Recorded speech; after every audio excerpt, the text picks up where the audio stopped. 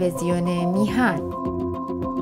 برنامه های ما را در شبکه های اجتماعی به نشانی میهن تیوی وان دنبال کنید. همچنین پخش زنده رادیو و تلویزیون میهن همراه با مقالات تحلیلی و تازه ترین اخبار جهان به زبان انگلیسی در وبسایت ما به نشانی میهن تیوی در دسترس شماست.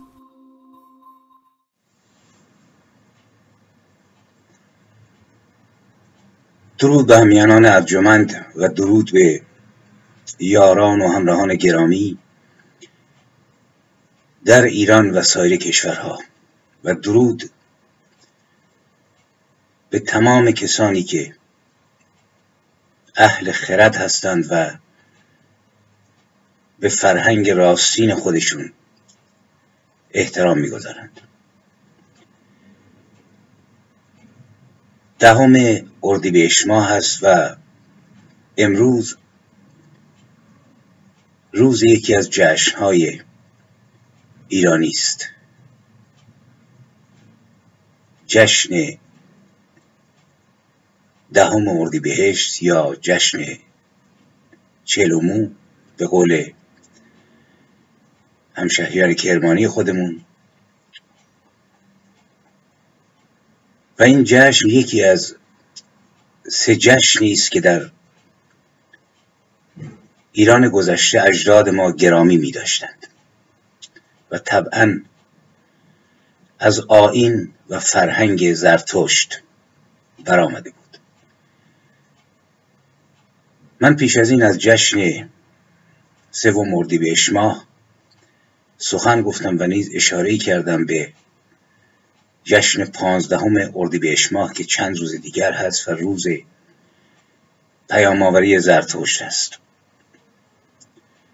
جشن ایرانی در اساس و پایه از دوردست های تاریخ فراز آمده. بخشی از اونها در عصر زرتشت برآمدند و زرتشت بر جشنهای کهن ایرانی مهر تایید کوبید. چون آین زرتشت. آین شادی بود آین خرمی بود آین احترام به انسان بود و این رو من تاکید می‌کنم روی خود زرتشت. باید اتکا کرد زیرا آین زرتشتی مثل تمام آین ها بعد از بنیادگذاری با فرهنگ های مختلف درآمیخت به خصوص در دیواره نظام های حاکم به کار گرفته شد برای تثبیت و قدرت بخشیدن به نظام های سیاسی و دولتی و تغییر کرد. با این تفاوت که بر دامان پاکیزه خود زرتشت و اندیشه زرتشت لکه ای پیدا نیست. زرتشت نه کسی رو کشت نه دستور سرکوب و به بردگی کشیدن مردم رو داد. نه تیغ بر گردن کسانی که آین او رو قبول نداشتن گذاشت و آمد و رد پایی روشن در تاریخ از خودش بر جا گذاشت و متاسفانه یا خوشبختانه غیر ایرانی ها بهتر زرتشت رو می‌شناسند و آین زرتشت رو. و به همین دلیل در خارج از ایران ما بیخبر بودیم که او به عنوان نخستین و یکی از برجسته ترین فیلسوفان جهان در دارت المعارف جهانی معرفی شده و بسیاری از محققان تاکید کردند که کدام دین است که فراتر از این سه فراز روشن زرتشت برود. گفتار نیک پندار نیک کردار نیک. به همین دلیل در راستای شناخت هویت ملی خودمون من تاکید می‌کنم. تا هویت ملی خود را باز نیابیم چنگال جانوران دو پای حاکمی که چهار ده است بر سرنوشت ایرانیان حاکمند اسیر خواهیم بود. برای اینکه هم فکریم با آنها. برای اینکه یک خدا رو میپرستیم یک پیامبر رو باور داریم. مقدسین ما و آنها یکی هستند. و این ما رو تضعیف می‌کنه. من تاکید می‌کنم تا قبل از حکومت خمینی مردم خدا پیامبر و مقدسینی رو باور داشتند که در طول قرنها به شکل مثبتی در آمده بود. من تاکید کردم که اگر دقت بکنیم منصفانه خدای مردم ایران الله در حقیقت خصائص اهورامزدا رو داشت.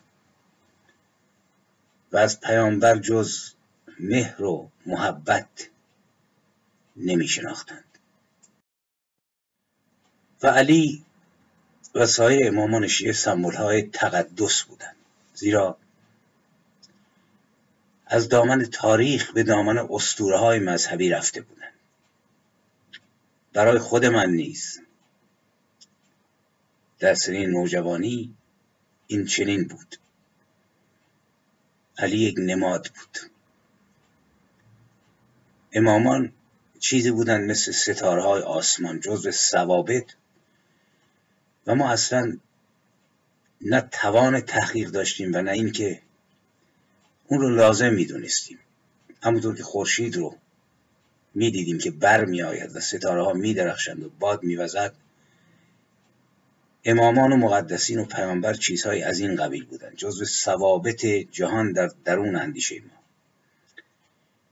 تا اینکه حکومت خمینی برآمد و ما دانستیم که چه خبر است. امروز چون ما در ماه رمضان قرار داریم و امروز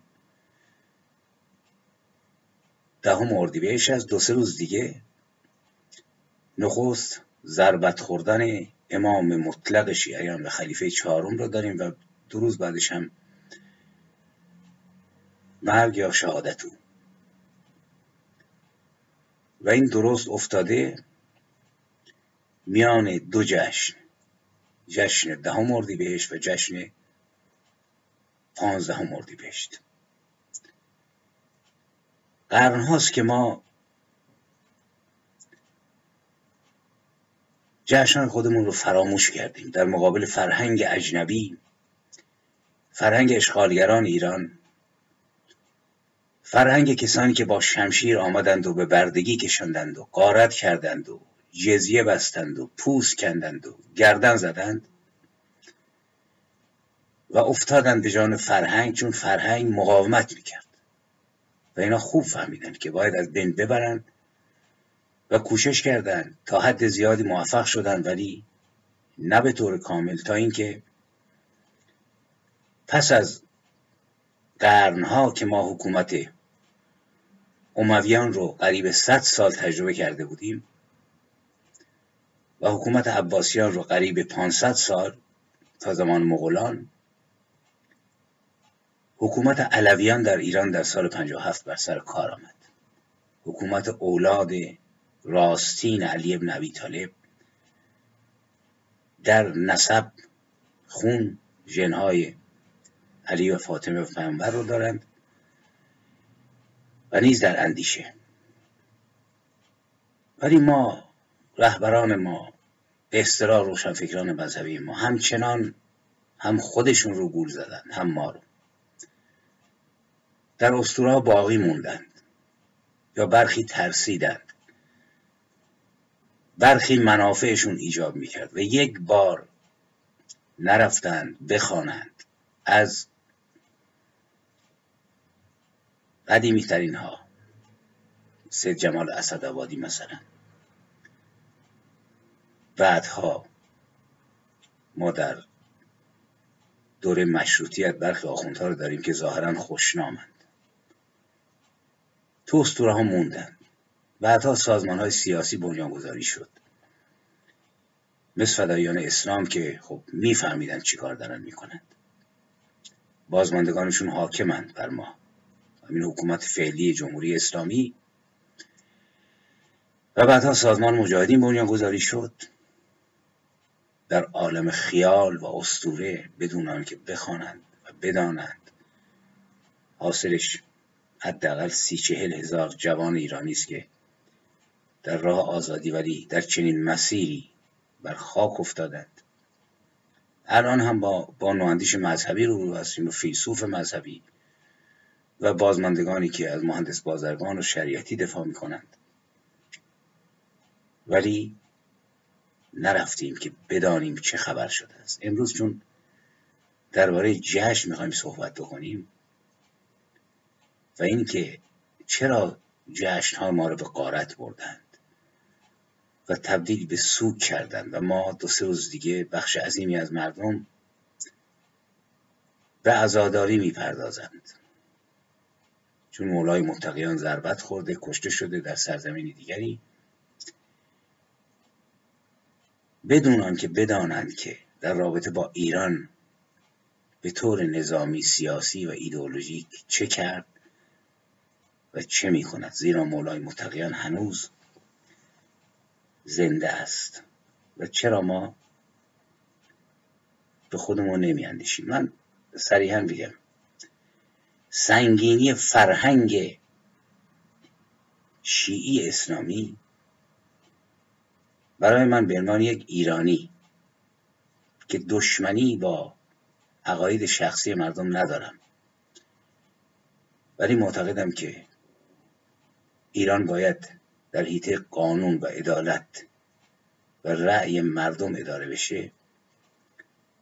سنگینی فرهنگ شیعی اسلامی بسیار من فکر می‌کنم هولناکتر از حکومت آخوند هاست برای اینکه اون در بیرون ما حسش می‌کنیم. ببینید تو خیابون دشنام میدن به خامنه ای کسی نمیترسه. مردم رسیدن به نقطه فهم. جنبش در ایران وجود داره. دوستی بود که دیشب من صحبت می‌کرد. نکات جالبی رو اشاره کرد. گفت برای اینکه رژیم تغییر بکنه چهار چیز لازمه. جنبش اجتماعی که در ایران وجود داره. و یک آلترناتیو قدرتمندی که مردم بتونن اعتماد بکنن که پس از فروپاشی حکومت مملکت دچار آنارشی نمیشه. این متاسفانه وجود نداره. امیدوارم به وجود بیاد در داخل ایران و نیز مورد حمایت خارج. در خارج بدون تعارف وجود نداره. خیالاتی. چهره پررنگ خارج کشور. آقای رضا پهلوی است. که خیلی ها احترام می‌ذارن بهش در داخل هم همینطور. ولی تا کجا می‌تواند جلو بیاید؟ نکته است که باید روشن شود. مسئله سوم حمایت دولت های خارجی است که وجود نداره. اونا بازی می‌کنن. دنبال منافعشونن. و مسئله چهارم به هم پاشیدگی حکومتی که الان وجود داره. می‌بینیم دو عنصر وجود داره. جنبش اجتماعی و هم پاشیدگی حکومت و دو تا وجود نداره.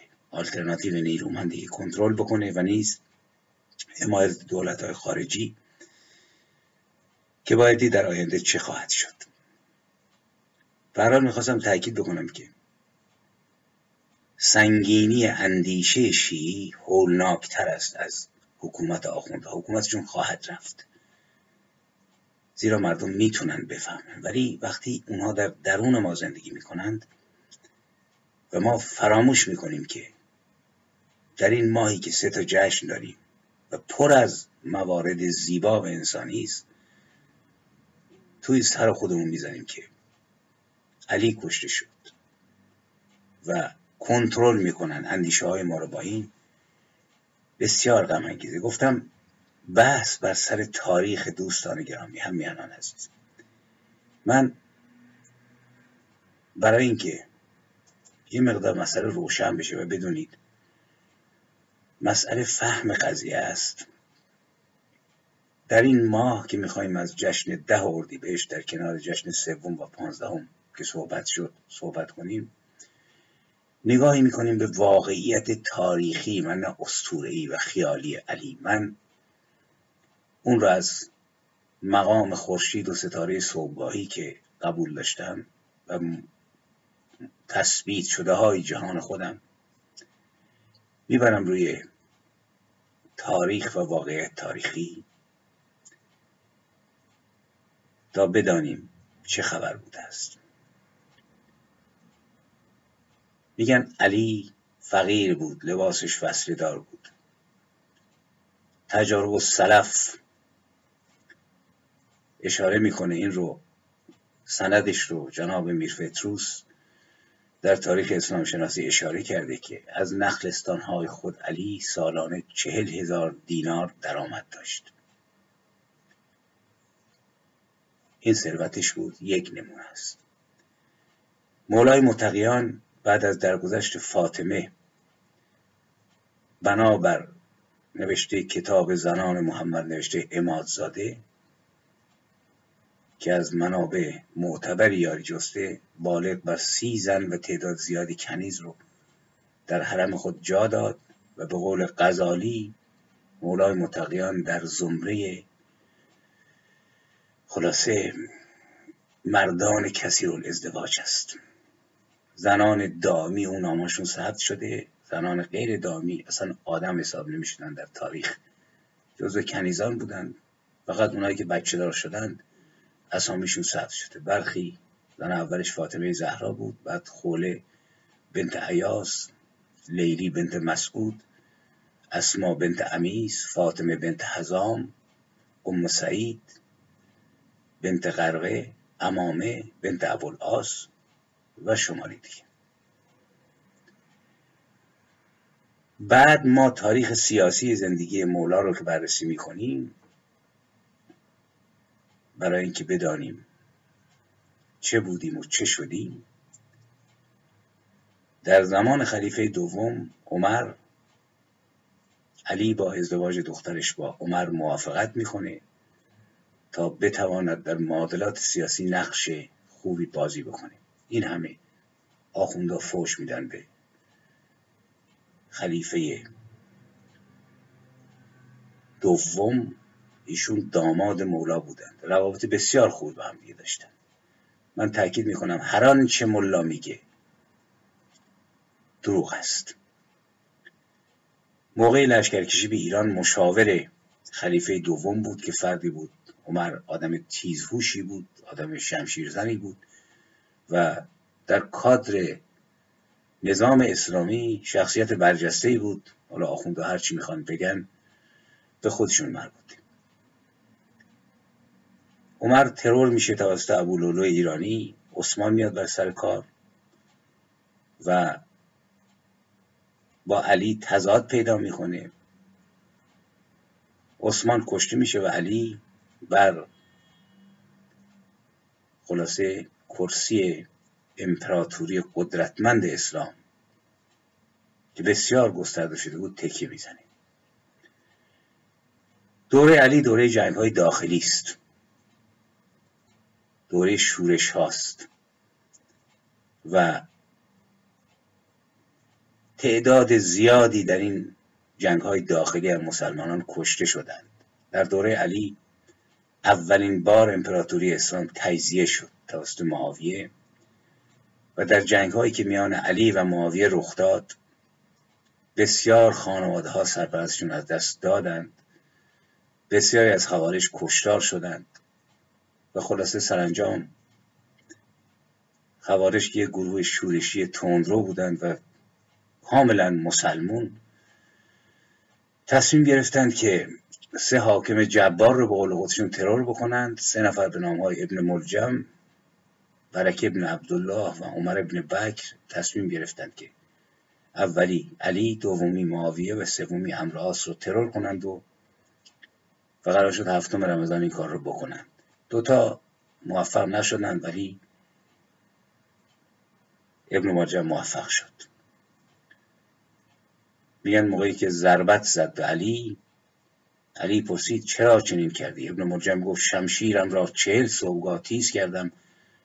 و از خدا خواستم که بدترین و پسترین مخلوق خدا را به آن بکشم. علی گفت خود نیز به آن کشته می شود که بدترین مخلوق خدای تاریخ خبری صفحه 2681 حال بریم روی کارنامه در ماه رمضان اشاره بکنیم. گفتم قصد شناخته. تا قبل از جمهوری اسلامی اینها گویا مایه افتخار بود. کسایی که می‌دونستن آقا یهودی ها رو کشته فلان رو کشته. ولی الان موقعی که فرزندان عقیدتی علی بر سریر قدرتند. پونزه هزار امامزاده پر رونقه دوربر حرم رضا و معصومه. هزاران زن مشغول سیر روی هستند. خط فقر رسیده به هفتاد درصد. کسانی در ایران هستند خیلی بهتر از من می‌دونند که چه خبره. و ما که در ایران نیستیم اقلا به جز رسانه ها اقلا علم حصولی از تاریخ پیدا بکنیم و اگر حالی داشته باشیم این رو در اختیار بخصوص نسل جوان این سرزمین قرار بدیم که آینده ایران در دست اونهاست و نه در دست نسل گذشته. نسل گذشته برخی رنج کشیدند و سال خورده شدند و شماری نیز قدرت جدایی ندارند و تا سنگ گورشان گذاشته نشود بر اعتقادات خرافی خود باقی خواهند ماند زیرا کندن از عقیدت بسیار بسیار مشکله. من این تجربه رو دارم. موقعی شما ول می‌کنید احساس می‌کنید که همه چیزهای دورورتون عوض شده و اوریان در یک کره دوردست آسمانی به تنهایی ایستادید. ولی چاره ای جز تغییر نیست دوستان عزیز. یا باید تن داد یا باید شهامت تغییر رو داشت. من بارها گفتم که جنگ در حیطه تفکر هزار بار سنگین تر از جنگ با اسلحه علیه دشمنه. زیرا این بار دشمن در درون خود ماست. ما با خودمون داریم میجنگیم. در هر حال برخی از افتخارات نخستین امام و چهارم خلیفه اینه. مقوله طایفه یهودی بنی قریزه که پیامبر اسلام بعد از جنگ با بنی نظیر از بنی قریزه کمک می‌خواد. این قبیله قبول نمی‌کنه که همفکران یهودی خودش رو بکشه.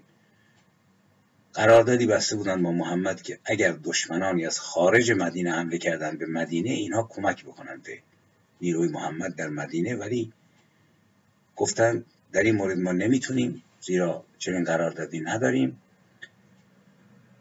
و محمد و علی دستور میده که در رأس لشکری اونجا رفته اونها رو گوشمالی بده. علی هم می‌رود. و آماری بین 700 تا 900 نفر از مردان قبیله رو در مقابل گودالهای از پیش کنده شده سر می‌برند. به فرماندهی علی. تاریخ تبری جلد 3 صفحه 1088 یک سند افتخارآمیز دیگه. بر اساس مروج و ذهب جلد اول صفحه 729 اینها رو امروز ننوشتن. قرنها قبل نوشتن. و آخونده خوب اینو می‌دونستن. تاریخ نگاران این رو می‌دونستند ولی چون در حیطه اسطوره ها زندگی می‌کردند هرگز نه موضع گرفتند و نه انتشار دادند علی و یارانش در جنگی دو هزار و پانصد نفر از قبیله ازود را سر بریدند. به طوری که کسی زنده نماند تا دیگری را دلداری دهد مروج و زهب جلد اول صفحه 729 اینجاست که می‌تونیم بفهمیم چرا بشه سبز کشتند. چرا در آبان 98 ملت رو بستند به گلوله و کارد و خنجر؟ زیرا الگو دارند. الگوشون مولای متقیان است شیر خدا صاحب زلفقار ولی الگوی ما کجاست؟ ما هم موقعی که تو خیابون میریم در حالی که اونا با اتکا با اندیشه علی و تفکر علی و رهبر خودشون خمینی یا خامنه می‌کشند ما به کی اتقا داریم؟ این سوال رو باید از خودمون بکنیم.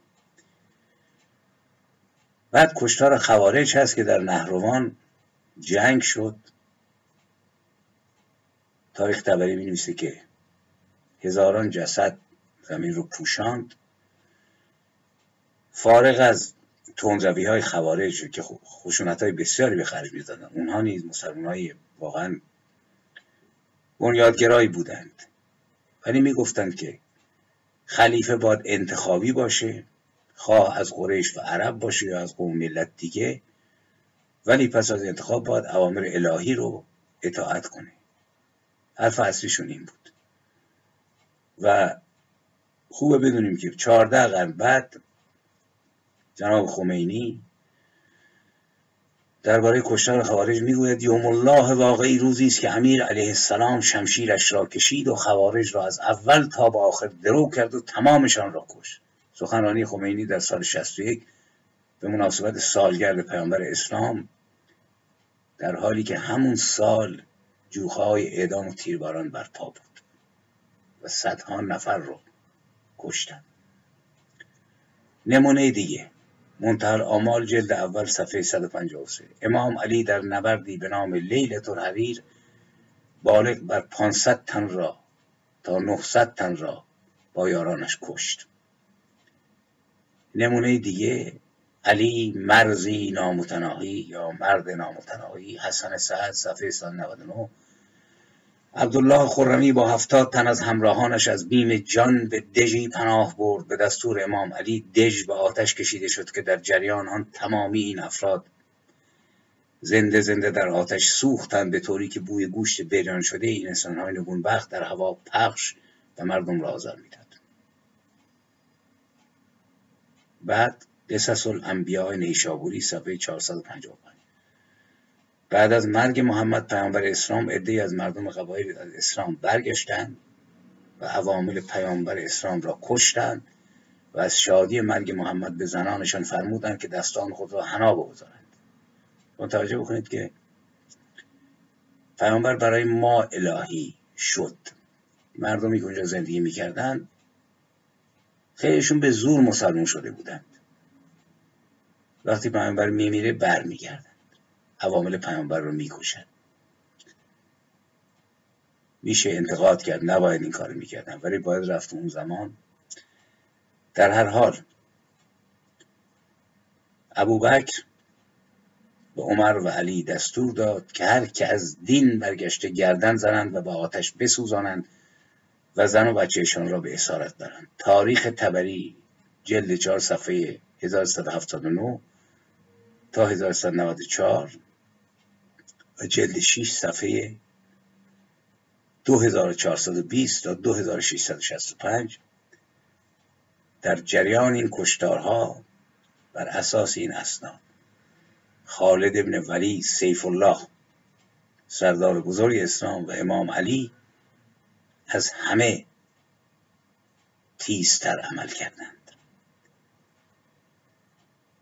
تبری در مورد کشتارها می نویسد آنان که دست رنگ کرده بودند و شادی و شعف در اثر درگذشت پیامبر اسلام نشان دادند همه را بکشت و به آتش بسوخت و فرمود تا سرهایشان را گرد کنند و پایه دی کنند و آتش در تنها ایشان زد و همه را بسوخت.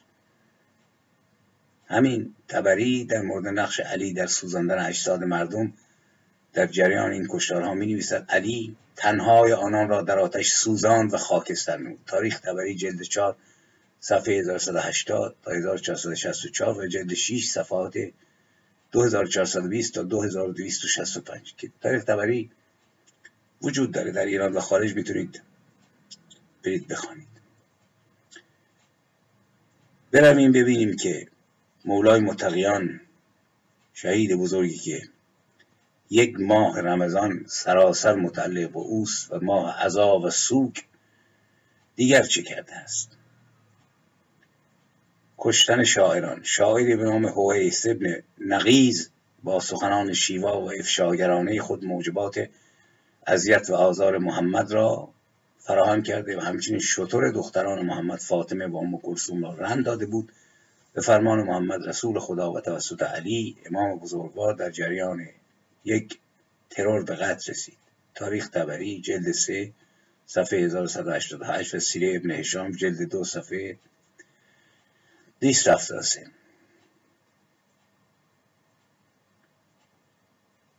امادزاده در کتاب زنان پیامبر صفحه 316 و 317 می نویسد پیرمردی به نام مغیره که از ترس محمد گریخته بود به وسیله امام علی دستگیر و سر بریده شد.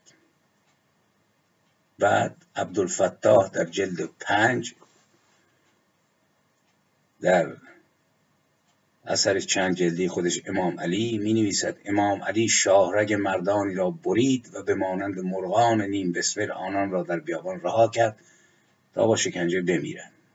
جلد پنج صفحه 127 صفحه 27 همچنین پس از شکست عیل محمد پیامبر بزرگوار اسلام به علی دستور داد که نظر, نظر پسر حارس را سر بریدند همینطور در منطقه دیگر به نام الزیه از میان اسرا عتبه پسر ابی معیز به دستور محمد و به دست علی سر بریده شد. منتهل آمال جلد اول صفحه 57 تاریخ تبری جلد 5 صفحه 1103 مردی به نام عتبه که به خاطر عدم پخش مساوی قنایم بین لشکر اسلام به صورت محمد توف کرده بود به وسیله علی سر بریده شد. بعد ما میریم سر ایران و مسائل ایران. مشاورت علی با عمر که به عمر گفت تو سر این سپاهی اگر بروی کشته شوی سپاه اسلام متلاشی می شود تو باید مرکز خلافت را داشته باشی. اگر سپاه اسلام شکست خود ایرانیان بدانند که این نیرو پشت داره تاریخ تبری جلد 5 صفحه 1943 عمر که داماد علی بود این رو پذیرفت در دارالخلافه ماند و لشکریان خودش رو با فرماندهانی بسیار خونریز روانه ایران کرد. و در شکست ایرانیان و پیروزی لشکریان اسلام علی خطاب به مردم کوفه گفت ای مردم کوفه شما شوکت عجمان را بریدید. تاریخ تبری جلد 6 صفحه 2208 این امام بزرگواری است که آری بسیار مورد احترامی. ولی برای کی؟ برای مایی که شوکتمون رو فرمود بریدید یا کسانی که باید ایران گرفتن و هنوزم ادامه داره بعد ما نمونه های فراوانی داریم.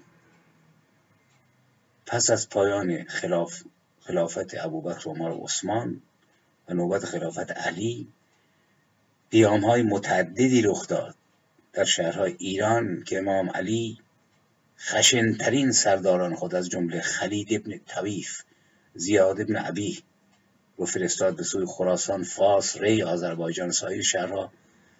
و سرکوب قیام ها شروع شد. مردم استخر رو کوبیدن. عبدالله ابن عباس رو میفرسته به اونجا. در سیل خون شورش رو فرو می نشاند فارسنامه ابن بلخی صفحه 136 دوباره مردم استخر شورش می‌کنند. زیاد ابن عبیه رو میفرسته به اونجا تا سرکوب بکنه و باید جنایات و کشتار این فرمانده علی رو در کتاب مرج و جلد تو صفحه 29 بخوانید مردم فارس و کرمان شورش کردند و حکام علی رو بیرون کردن. نمی‌خواستن باج خراج بدن نمی‌خواستن بچه هاشون برده بشن. دوباره علی زیاد بن عبی رو فرستاد. لشکریان وی کشتند تاریخ تبری جلد 6 صفحه 2657 مردم خراسان چندین بار قیام کردند جعد ابن حبیره رو فرستاد. مردم نشابور رو محاصره کرد. تا مجبور صلح شدن تاریخ تبری جلد 6 در زمان امام علی مردم شهر ری شورش کردند خراج ندادند. ابو موسا رو فرستاد. ابو موسا دفعه دوم بود که ری رو در هم میکوبید. فتوح البلدان صفحه 150 فراوونه. به روزگار خلافت علی ابن ابی طالب چون پایان سال 138 و آغاز سال 39 بود حارس ابن عبدی به فرمان علی لشکر به خراسان کشید و پیروز شد.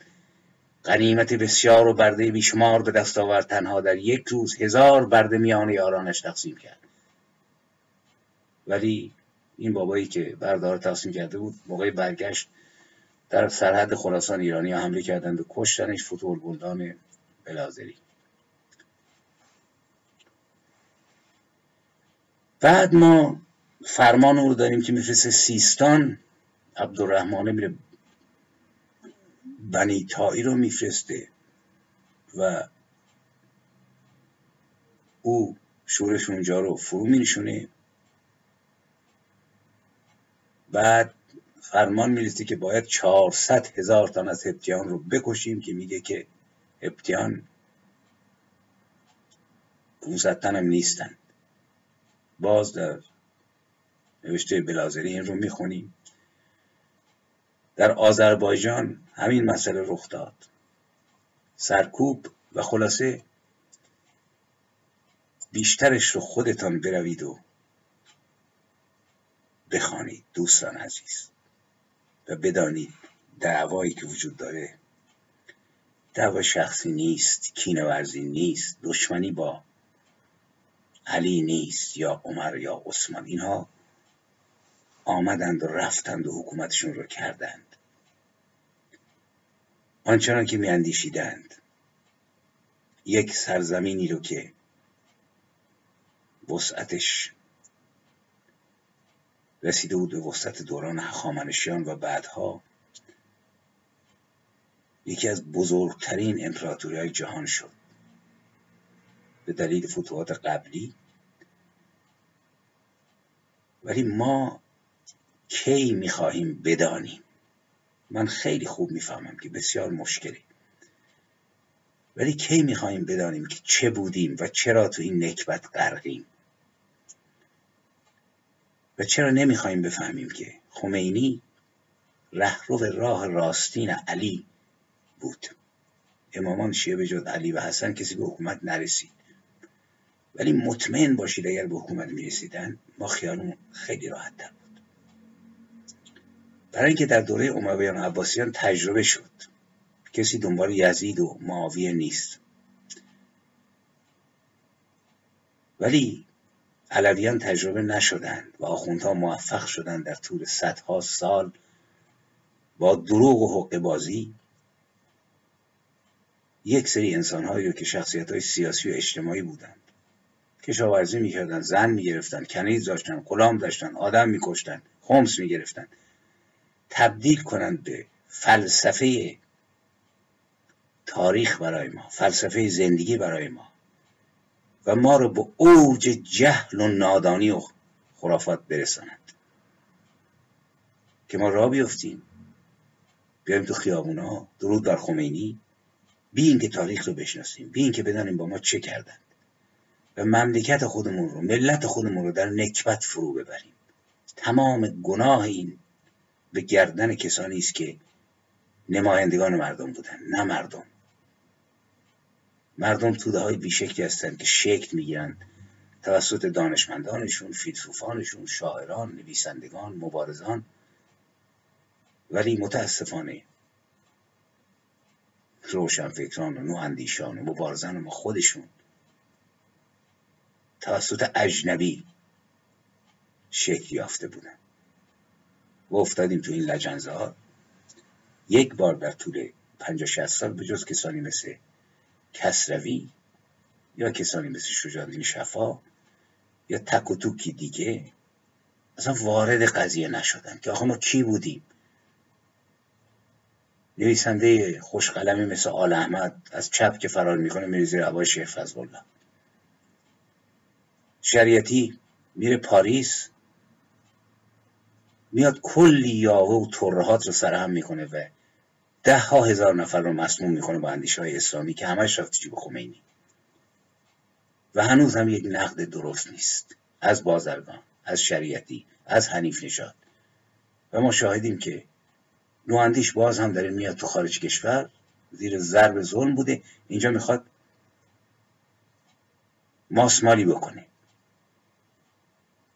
مثل این مطلبی که جناب آیت الله جزایری که سال چند سال قبل فوت کرد با ناصر مکارم همراه بود که یک فیلمی پر کرده که آقا اینها میکشتن تاریخ اینطوری میگه عرب حیوانات رو با چماق میکشتن جنایت کردن اومدن ایران رو گرفتن همه چی اولش میگه عجب آدم راستگویی ولی میگه اینها از سنت محمد رسول الله علیه و ابی طالب انحراف پیدا کرده یعنی تمام کاسه رو سر اعراق بیچاره می‌خواد بشکنه که خودشون قربانی هستن و اصل قضیه رو رو نکنه.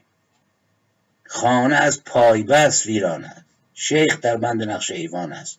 نواندیش در فکر بند ایوان است. میترسن. بهتریناشون اونایی که خب منافعشون گره خورده داستان دیگری است. مقدمه طولانی شد دوستان. و من می‌خواستم در مورد ده اردیبهشت صحبت کنم که اشاراتی کردم اشارات طولانی که لازم بود. به حال ما سهشنبه چهارده اردیبهشت شهادت مولا رو داریم که از کارهای بزرگش یاد کردن پونزده اردیبهشت روز دی به مهر رو داریم. که یکی از جشنهای ایرانی است. جشن میانه بهار. جشن بهار بود یا گاهنبار میدیوزرم که به معنای میانه فصل سبز است. و ده اردیبهشت ما مراسم چهلم نوروز رو داریم. ایران سرزمین جشنها و شادیها بود قبل از اسلام. من در این باره صحبت کردم. ملتی می‌تونه شاد باشه که امنیت داشته باشه ارتشش قوی باشه راه داشته باشه منظور کافی غذا داشته باشه تا بتونه بزنه و برقصه و بخواند. و این همه جشن که از اندرون فرهنگ و آین و مذهب ایرانیان گذشته برمی آمد نشاندنده واقعیت اجتماعی سیاسی و خلاصه جغرافیایی است. در اردیبهشت سه تا جشن برجسته است که این دومیشه نزد ایرانیان باستان جشن چهلم نوروز بود زرتشتیان اعتقاد داشتند که اورمز آسمان را در چهل روز یعنی از اول فروردین تا دهم اردیبهشت آفرید و کار آفرینش آسمان که پایان یافت رو جشن می‌گیرن عدد چهل در دین زرتشت عددی مقدس بود نزد ایرانیان. و امروز نیز می‌بینیم که مقدس تا این رو وارونه کردن. قبلا عدد شادی بود برای جشن انا شده عدد اربعین چهلم چهلم مردگان چهلم مولا علی چهلم امام حسین. و می‌بینیم که چه خوب وارونه کردن. جشن رقص و پایکوبی اربعین زبان عربی چهلم به زبان فارسی. بزرگداشت بهار تبدیل شده به بزرگداشت مرگ بزرگداشت عذاب بزرگداشت سوگ. در حال این جشن جشن پایان آفرینش آسمان است. می نویسند محققان که جشن صدر و ایرانیا از صد روز به نوروز آغاز می کنند و تا چهلم نوروز این جشن و شادی ادامه داره. این جشن قبل از اسلام در سراسر ایران برگزار می شد بهش می‌گفتن جشن آبان روز. روز آبان از ماه اردی بهشت مراسم ویژه‌ای داشت که فراموش شد در حمله فرهنگ اجنبی فقط در یزد و کرمان و شیراز به دلیل اینکه زرتشتی اونجا زندگی می‌کردن این جشن برگزار می‌شد به گویش محلی و زیبای مردم کرمان. چلمو میگن روز دهم اردیبهشت می‌رفتن به دامنه کوهستان های سرسبز مراسمی مثل مراسم نوروزی برگزار می‌کردند و یکی از این نقاطی که این مراسم با شکوه برگزار می‌شد و ادامه پیدا کرد حتی علا رغم سلطه اسلام پاریز سیرجان است که احتمالا محل تولد استاد محقق و ارجمند جناب باستانی پاریزی است که خدمات خیلی خوبی به شناخت تاریخ ایران کرد. در این روز جشن ده اردیبهشت حاوی بسیار نکات انسانی و زیبا و شادیانه بود. به خصوص پاریزی ها و اشایر منطقه معتقد بودند و هستند که اولین محصول شیری که گاو گوسفنداشون میدند و نوبرانه در حقیقت این رو باید نفروشند و بین نیازمندان تقسیم کنند جشن می‌گرفتند و خلاصه لبنیات دامی رو مجانی می‌دادند به اهل فقر. این در تقسیم گندم هم در سراسر ایران خلاصه وجود داشت که از دور دستا اومده بود. من در ولایت خودم یادم این موقعی که خرمن و گندم و جو رو آماده می‌کردن روش رو مهر می‌کردن و در یه روز مشخص می اول سهم کسانی رو که بعضی کافی نداشتن می‌دادن بعد میبردن به انبارها. از رسومات دیگه این جشن که در پاریز و سیرجان خلاصه انجام می‌دادن پختن آش بود. با دوغ با ماست و رشته و اینو میپختند و در دامنه کوه میماندند. آش میخوردند بازی می‌کردند. و نیت می‌کردند که سنتش و سنتاش رو پژوهشگران ثبت کردن. مثلا یه ظرف رو یه جایی میذاشتن اشیایی میذاشتن در درون اون و کودکی نابالغ رو می‌گفتن این اشیا رو در بیاره و اگر مال اونا در میومد یعنی به خواسته خودشون می‌رسیدن. یکی از نقاط جالب در جشن چهرم نوروز جشن پایان آفرینش آسمان توسط اورمز این است که در این روز باید دلخوری ها رو فراموش کرد. افرادی که با هم قهرند کینه و دشمنی دارند به کمک بزرگان و ریش سفیدان می اومدن با هم آشتی می‌کردن همدیگر رو میبوسیدند و این جشن چهلم در آبان روز جشن برادری و آشتی بود و نیز جشن عشق. از دور دستای تاریخ تا چند شهری که این جشن درش باقی موند مردم می‌رفتند به بیرون شهر آش میپختند و جوانان در دامنه کوهستان جوانان عاشق که کسی رو دوست داشتن چه زن و چه مرد دست به دعا و نیایش برمی داشتند و از پروردگار می‌خواستند که صدای آنها را بشنود و به گوش محبوب و معشوقشان برساند و آنها را به وسال یار برساند. ببینیم چه عناصر خوبی در جشن چهلم نوروز یا اربعین نوروز وجود داشت که جشن شادی بود. فرهنگ شادخویی رو دامن می‌زد. جشن طبیعت بود جشن ادامه دادن نوروز بود. و بسیار بسیار نکات جالبی توی جشن وجود داره. در شیراز این جشن چرم نوروز چیزهای خاص خودش رو داشت. در شیراز می‌گفتن که در کنار حوز ماهی سعدیه می ایستادن معتقد بودن یه ماهی سرش رو از آب بیرون میاره یه انگشتری از طلا همراه خودش داره که نشانه بخش وقت و اقبال است. و به همین دلیل کنار حوز ماهی سعدیه برگزار می‌کردن. و انواع اقسام سنت های زیبا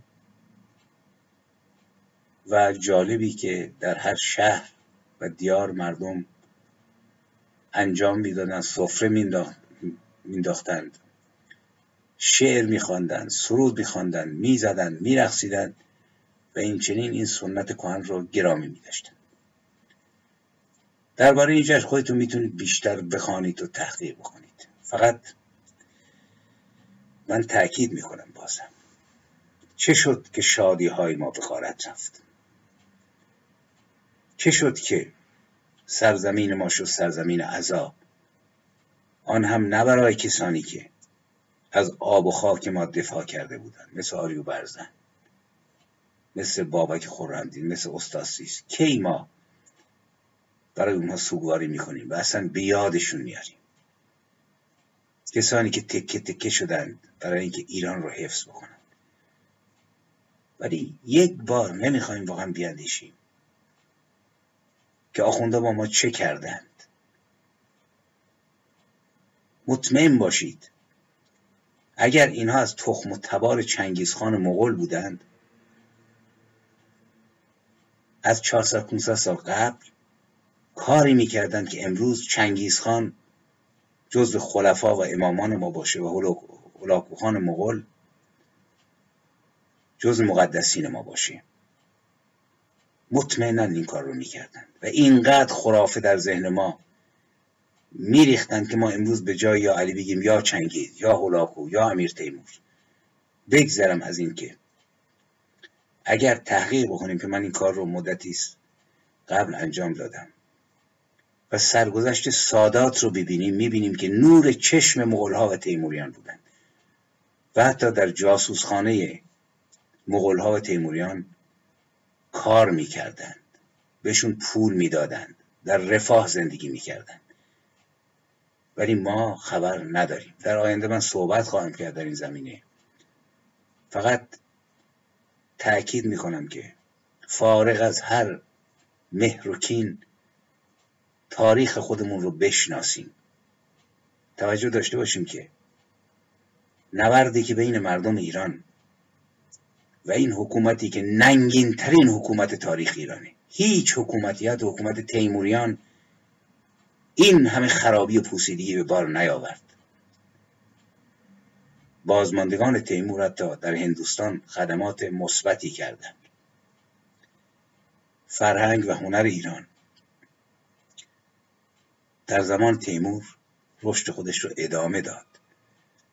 ما سعدی رو قله غزل عاشقانه رو در زمان مغول داریم و حافظ رو در زمان تیموریان. در زمان خمینی چی داریم ما؟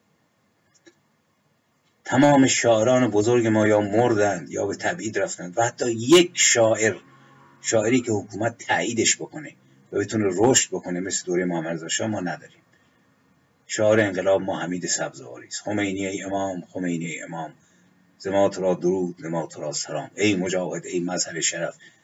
ای ناد جان من در راه هدف الى آخر. این بدترین بلایی است که نازل شده. و این بار نه مثل تیمور نه مثل چنگیز نه مثل آقا محمد خان. فقط سرها رو نمی برند و کل مناره درست نمی کنند فقط چشم های مردم کرمان رو از صدقه بیرون نمی کشند فقط مثل خلفای اولیه ایرانی رو به بردگی نمی‌برند و جزیه نمیبندند. این بار برده اصلی کلیت ایران زمین ماست. این بار اسیر اصلی تمام ملت ایرانند که بازیچه آخونده هستند. و نقطه قوت آخونده اینه که این زهر رو این آمپول کرونا رو قرنهاست به ما تزریق کردن ما رو فلج کردن. هم میهنان دوستان. به هیچ وجه قصد پراکندن کفر و بیدینی و ارتداد به شیوه آخوندی رو من ندارم.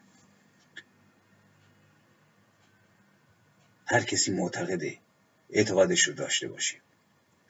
به طور فردی و طبیعی است که انسان نیازمند یک اتگاه تکیگاه فلسفی هست. حالا یکی ماتریالیسته یکی جهانگراست یکی روحگراست یکی می‌دونم بودایی یکی زرتشتی یکی مسلمان صوفی درویش اینا. ولی آخه این بساتی که راه افتاده تو مملکت ایران داره به میره.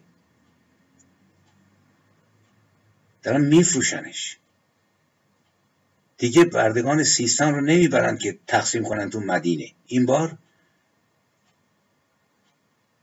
دریای خزر رو دارن میفروشند رودها رو دارن میفروشند بندرها رو دارن میفروشند. و روز روشن. هزار نفر هزار و پونصد نفر هزار هشتصد نفر رو می‌کشن هفت هزار نفر رو می‌برن به زندان. و ما نمی‌خواهیم بیدار شیم. عصر عصر بیداری است. من تاکید می‌کنم. تا از درون.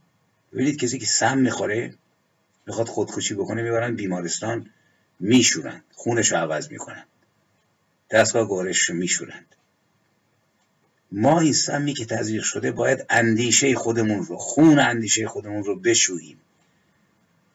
و یکی از راه های شستشو بدون آن که کسی بخواد تبلیغ مثلا آین زرتشت و مزدک و مانی و خورندینان رو بکنه. ولی بازگشت به هویت پاکیزه است که قابل مقایسه با این لجنزار آخوندها نیست.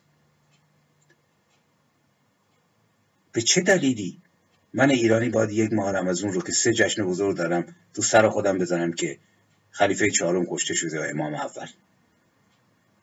جالبه که در سرزمین های عربی به هیچ وجه اینقدر سوگ نیست در میان سنی ها شاید در روز در گذشت پیامبر یا گوراشون رو شما نگاه بکنید قبرستانی که نشون میده کسانی که اونجا دفن شدن یه گور ساده است. اینجا ها هزاران سوگ برای ما درست کردن. ملایان شیعه این ملایان اجنبی غیر ایرانی ضد ایرانی ایران سوز. و فرهنگ ما رو به قارت بردن. جشن های ما رو به قارت بردن. هیچ چیزشون شبیه ایران و ایرانی نیست. نه آینشون نه کارکرد سیاسیشون نه ریش و امامه و این هیکل های منحوسشون که آدم وقتی نگاه می‌کنه به وحشت میافتادم و اینا کسانی بودند که قرنها مورد احترام ما بودند. وقت بیداری است وقت بازگشت به هویت راستین است. وقت فهمیدن است.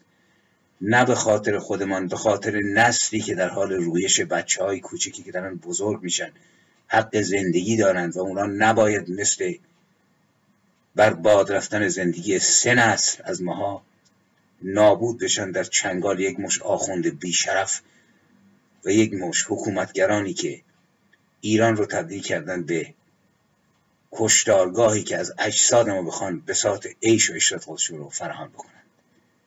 بیاندیشیم. حتی کسانی که در درون این حکومت چون یه حکومت کارمند داره نمی‌دونم سپور شهرداری داره.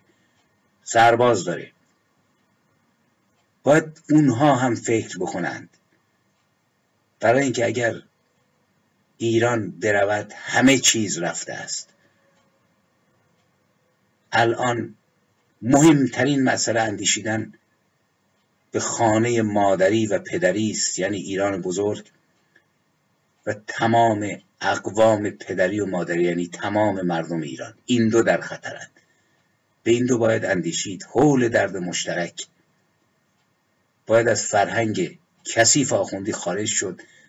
دست در دست هم نهاد. و یکی از راههای خارج شدن شناخت هویت راستین ماست و من جمله جشن ها و نیز جشن دهم بهشت صحبت زیاده.